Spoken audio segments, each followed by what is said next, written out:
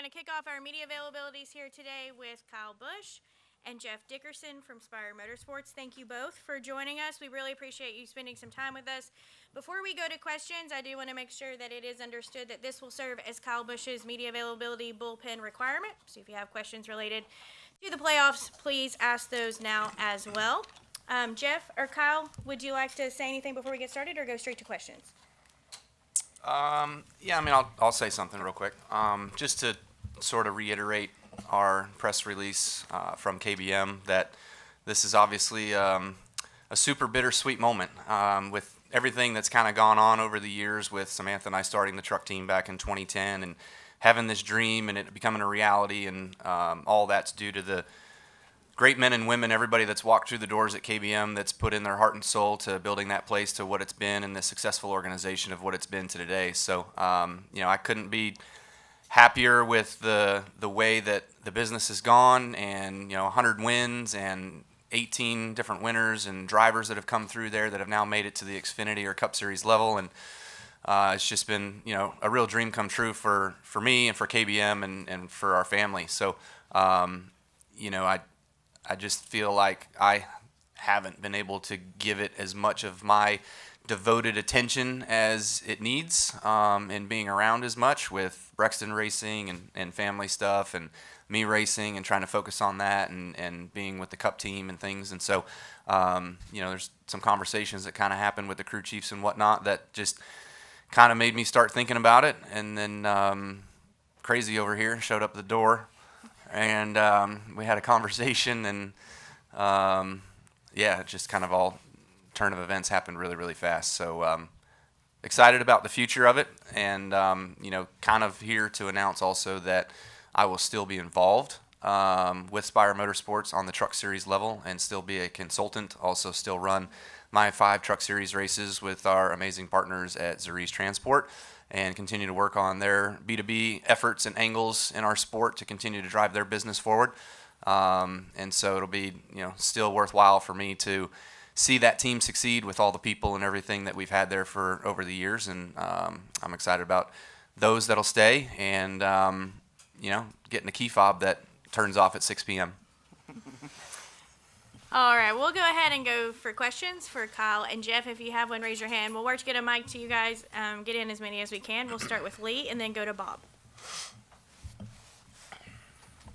Hey, Spencer, catchfence.com. I never heard Jeff referred to as a unicorn before, but I'm glad you found him. Uh-huh. Um, they do exist.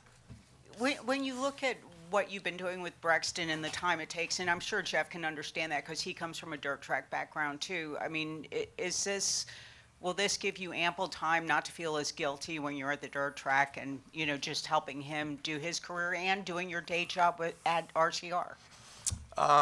Yeah, sure. I would I would agree with that. Um, you know, this isn't the end or the shutdown of KBM. KBM doesn't cease to exist. It still exists. We just now race an eight-year-old at the you know grassroots level.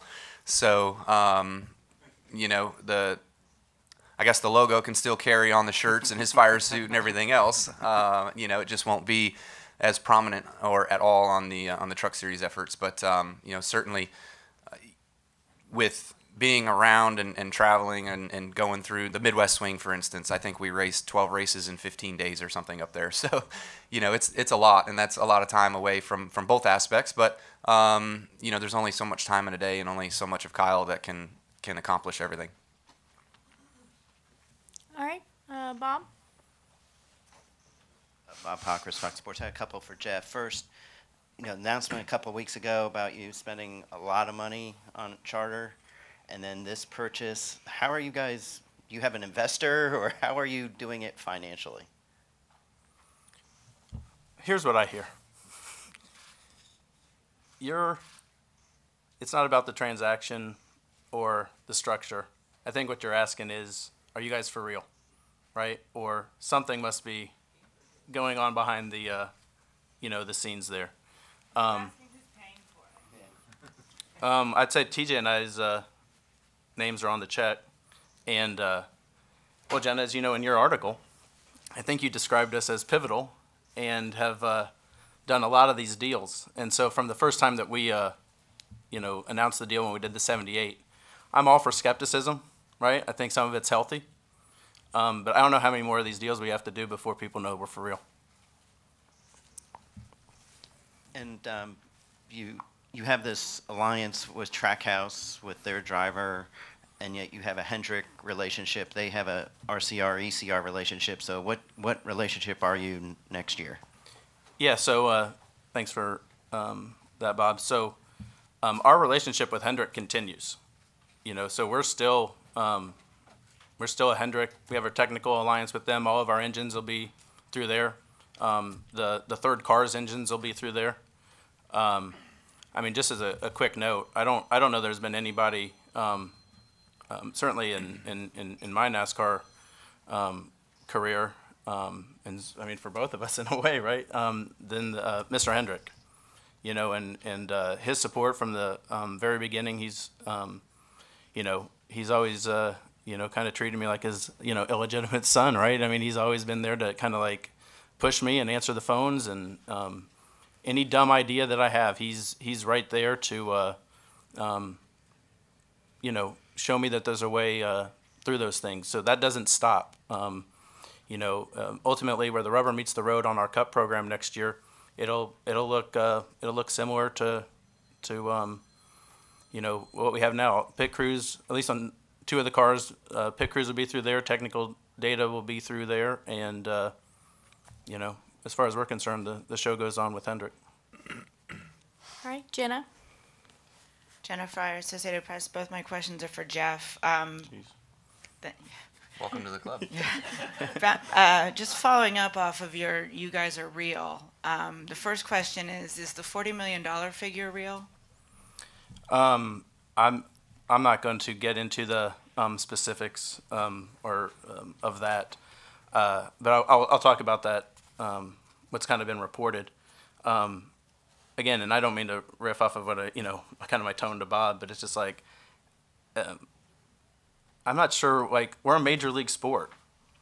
You know, we've been around for 75 years. You know, we portray ourselves to corporate America like we're uh, like we're major league, and we are major league.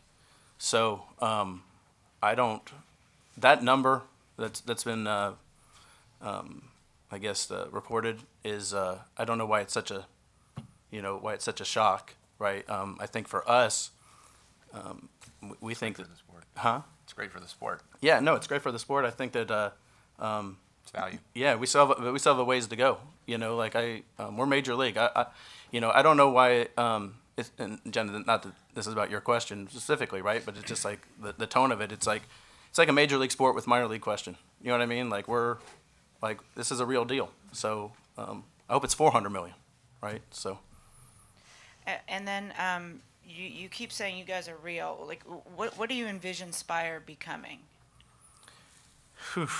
I don't know what else. You know, I mean, I just think like from you know, it feels like we're, um, it just feels like we're always trying to prove something. You know, like hey, what's going on, or hey, where's this really, you know, like what's this coming from, or like when we first did the '78 deal, everybody was just like, oh my God, what's happening? Which us too. When we did the '78, it was us too.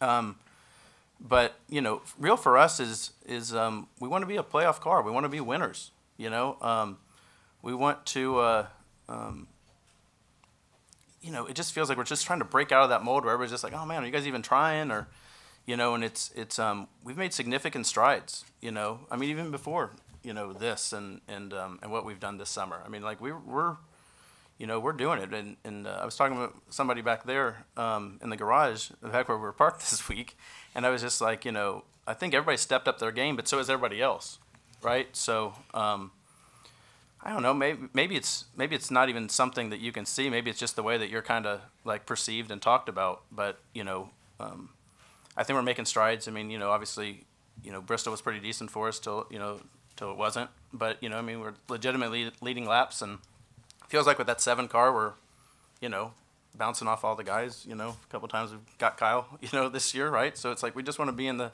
conversation where it's just not a um, surprise that we're up there. And Kyle, um, now that it's sort of winding down at the NASCAR national level, was your time and investment worth it? Yeah, I mean, I would say so. I feel like a lot of the personal relationships and things over the years, whether it's been Eric Phillips, Rick Ren, uh, Rudy Fugle, all of that stuff, you know, it, Chris Gabehart's another one uh, from our stable. But you know, I I think that we've had um, a great ride and a great run, and, and it's been worth it in a lot of sense. You know, I've had a lot of fun um, racing super late models, racing trucks, winning late models, winning trucks. Um, I've got a uh, storage facility now full or needing to get one full of, of show cars and things of past memories of stuff that I've been uh, that I've accomplished and cars that I've accomplished uh, big wins in. So um, I would say yes. Did you make any money? Uh, now, not per year. All right, Jordan, go ahead.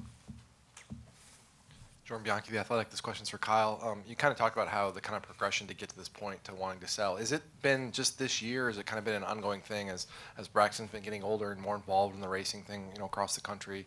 That the realization of this, you just don't have the bandwidth to, to continue to do this.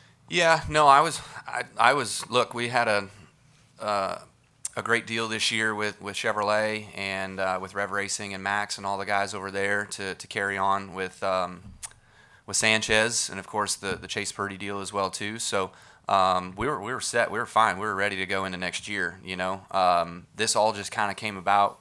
I don't know, a month ago.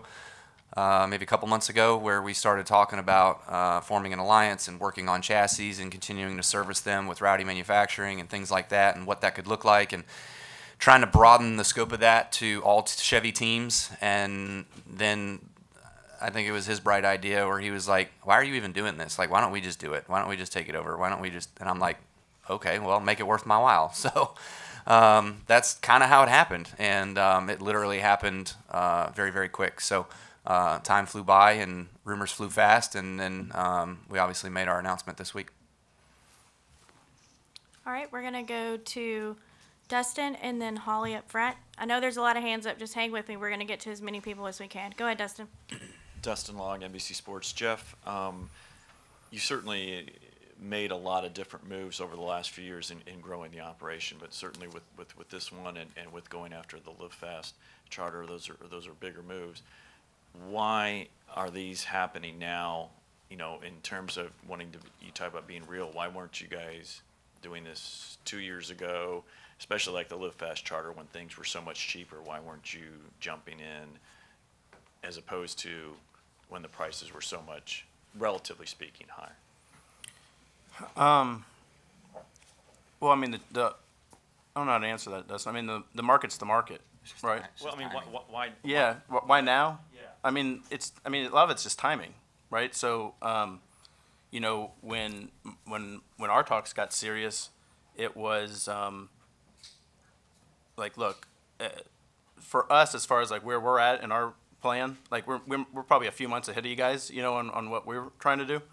Um, well, when you have, we can't run three out of our place, right now. So, um, and we've looked at buildings all over the place. We've looked at you know three three million dollar buildings and fifty million dollar buildings. Um, you know, um, but that was the urgency to kind of like with Kyle, right? And what he's speaking to was we need space in Daytona's in February, right?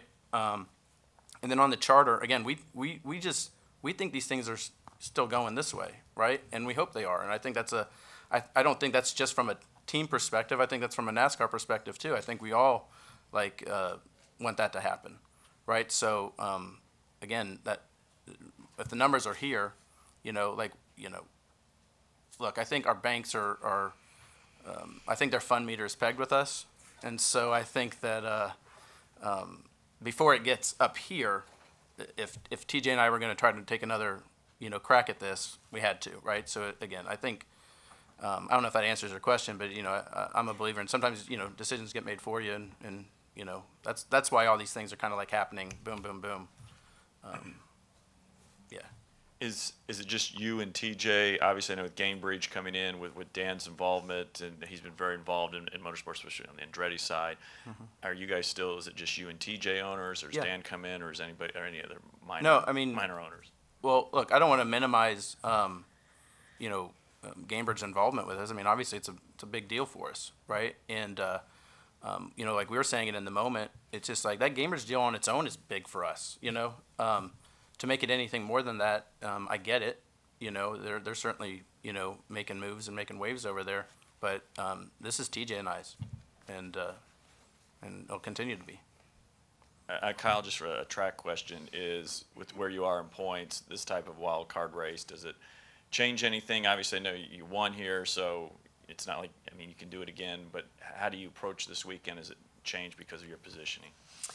Um, no, it doesn't change. I think you come in here um, stress meter pegged, um, regardless of whether you're 30 to the good or 30 to behind. You know, um, we obviously know in our situation we're we're further behind, so you you have to race. I think it's been more sought out to just race these races and and run them normal and not hang out in the back and try to wait for something to happen because with these cars and the way the race plays out, it's so hard to make moves and make passes and get yourself track position whenever whenever you want it. You can't. Um, so you've got to hold it when you got it, and um, if you don't have it, then you got to figure out how to fuel save so you can uh, short pit guys and jump them on pit road. You know what I mean? So there's um, so many variables. Uh, you just got to race it out and don't worry about it. What happens happens. All right, go ahead. Uh, Marshall Smith, Samford University. So, what will the acquisition look like for KBM employees, or will that be sorted out in the coming weeks? Yeah, so that was a big talking point that Jeff and I had from the very beginning. Was obviously the people. Uh, we went through this situation, say 14 months ago, of whether or not we were going to be a team. Um, with my transition from you know JGR Toyota over to RCR Chevrolet, so um, that same focal was brought up with Jeff, and not only does he need a building, Yeah, we needed it. He needs people. Yeah. You know, so uh, we've got a really, really great group of guys and girls that, that work at KBM, and they're a strong group, and they know how to build fast race trucks. Um, and so, do some of those get absorbed into cup programs? Possibly. Do some of those stay with the truck program? Possibly. But they all are safe if they want to be, and if they want to have a job, they they talk to the the Spire group, and they go through. They're already vetted, right? But they just go through the hiring process uh, with a new organization. All right, Shane. Up right behind you. There you go. Shane Connuck, the Charlotte Observer. Kyle, um, obviously, you know this news today or this past week with um, you know selling your team um, at this point.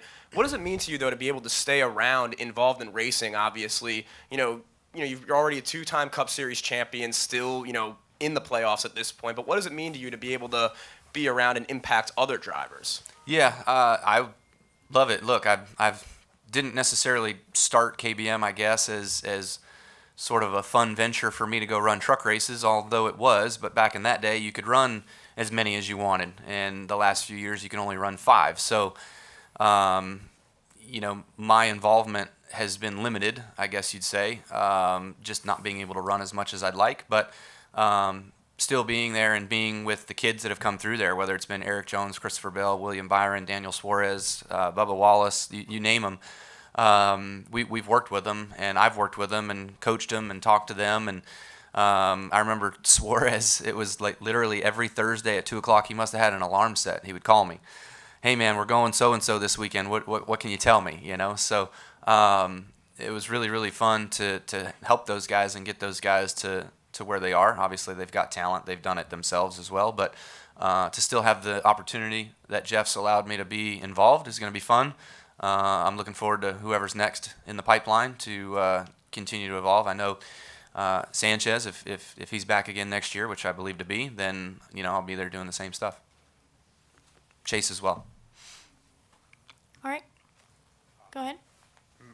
Uh, Maxwell Donaldson, Gadsden Times. This is for Kyle. You mentioned Chase Purdy. What have you seen from him in his first year with KBM? And obviously, this is his home track. Um, what kind of emotions go into running at your home track, kind of? Yeah, if Talladega was my home track, I have no clue how to sort that one out. Um, man, that's a dreadful, uh, that's a love dread situation right there. Um, you know, but yeah, Chase is coming on board this year has been really good. I raced with him a few times back in super late models years ago, but um, you know his progression this year started out a little bit light, a little timid, you know, just a little like don't want to crash anything, don't want to tear anything up, and then it was kind of like, dude, like let's go, don't worry about it, put it out there, put the put her in the wind. And um, you know, I, I think we've kind of seen that the last four or five races that um, you know he's done a lot better. We've lost track position on pit road and put him behind, and um, you know, going into the race, we haven't made quite the perfect adjustments at each time to, to keep his track position per se, but um, no, he's he's getting better and um, coming into Talladega, it's it's any man's show. So it's cool to see him on the pole. That must be feel good to be on the pole for the you know your home event, but um, got to keep it there.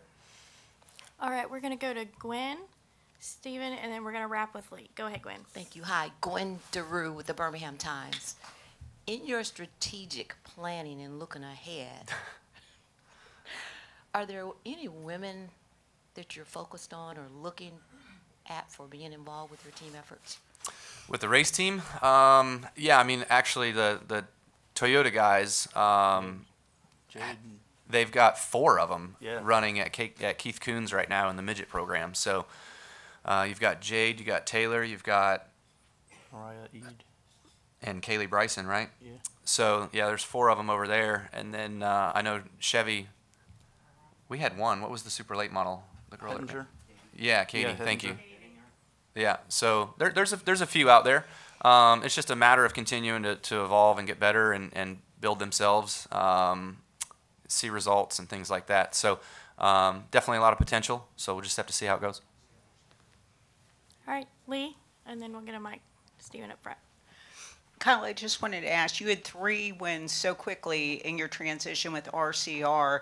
Have the other teams caught up or, you know, why has there, I don't know, I guess when you were that good to start out with, we just expected it to continue. What is, what do you need to keep putting up something in the W column? Yeah, um, I trust me, I see it too. Um, I think when we've had really good cars, I've just over tried, and you know, you used 2017, 18, whatever, when we were super fast all the time. Like I always think back to the the golden days. Um, you could drive from the back of the field to the front of the field. You know, you could make something happen, and I still feel like I can do that, and I can drive from the back of the field to the front of the field. But in reality, with this car and equipment and everything being so equal, talent being so equal, SMT data, everybody seeing it being so equal, it's it's tougher than ever to pass the guy in front of you. So um, that I guess that's kind of been um, a bit of my demise, which is I, I don't feel like I can do as much as I want to be able to do. So me tr- me- over trying has sort of hurt my racecraft, if you will, where I haven't been finishing. Um, frankly, um, I so with me in this next gen car, look at how many times I've spun out and crashed. You know what I mean? Like it's just stupid uh, compared to what it has been over over time. So I still got some work to do on figuring that out, but also just need to. I'm a very non-patient person, so you got to show some patience in these races. They're long races, you know. Last week in the first stage, pushing and uh, literally then just telling myself, okay, forget it, back up, like just let's finish this stage and then swapping ends. You know what I mean? So like, I just finished telling myself to just make it to the end of the stage, and I'm backwards. So um, yeah, I, I don't know exactly, but we got to fix it. I got to fix it. All right, we'll take our final question up front with Stephen. Stephen Taranto, CBS Sports. This will be a question for Jeff. Uh, Jeff, when Spire started its Cup Series team, uh, from the outset in 28, 2019, you were you guys were very clear that you had a plan to build this team into something that was competitive and something that was consequential. Now we're five years into that, and you've reached that point. With these transactions between the Live Fast charter and now the acquisition of uh, KBM, was that part of the original plan, or was this something that developed as you were trying to figure out how to take it to the next level over the next five years or so? Well, I mean, it probably wasn't Live Fast slash KBM, right? But um, yeah, I mean, uh, uh, look, in the office, um, it's like, I guess the way that we carry ourselves over there and the way everybody's talking is like we're right on plan. You know, like, um, you know, we make we're not just like throwing it up against the wall. I mean, sometimes it may you know appear that way, but um, you know, we're pretty deliberate in in what we want to do, and we have the patience and the relationships. Um, not only for us, right? I mean, we've done what we're doing. We've done for plenty of teams that are back there right now, and so, um, look, I think we're we're um, we're opportunistic when we when we can be, um, but as far as on our timeline, it's like the only we're probably on we're probably on time competitively. I mean, as much as you know, I think it's just our nature, right? We you want to go faster and you want to finish better, you know, every week. Even when we were in the back, we were you know, the races for 31st were as intense for us, you know, as as you know, getting into the top 10. So that's really the only thing that gives me like, you know, I guess heartache or keeps me up at night. It's not, it's not the stuff we're kind of like talking about here. It's the stuff that goes on on the racetrack. You know, where, um, you know, um, you know, like obviously we, you know, we want we wanted that 77 to to be better this year, and that that probably took five years off my life this summer just trying to come up with ways that we could we could do that. So. Um, yeah, I'm not sure if that answers all of that, but it's like really the only thing that I don't feel like we're on time on time about is is um, is the results for two cars. And just as long as you mentioned the uh, 77, do you have any idea what that's going to look like for 2024 yet, or? Well, I mean, in the yes and no. I mean, uh, um, I think that'll come into uh, into focus here in the next few weeks. You know, but um, in the meantime, we're just going to keep giving um, giving that group all the tools and resources they need to to finish this year strong. But um, we're working on it. You know, but um, we'll see. Thanks, Jeff. All right, Kyle, Jeff, thank you both for spending so much time with us this morning. We really appreciate it. Kyle, best of luck this weekend. Yep, thanks. Same for you, Jeff, as well.